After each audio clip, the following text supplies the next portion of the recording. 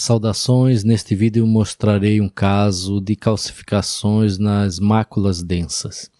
Temos essa tomografia computadorizada aqui das órbitas e você observe pequenos pontos de calcificação aí na topografia das máculas densas. Veja que ela, essa topografia é lateral ao nervo óptico.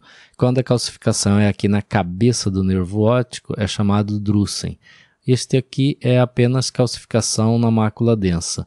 Alguns pacientes apresentam isso, é, principalmente pacientes idosos, então pode estar relacionado à idade, mas não é muito frequente da gente identificar esse tipo de calcificação em mácula densa, ok? Neste vídeo era isso, obrigado e até o próximo.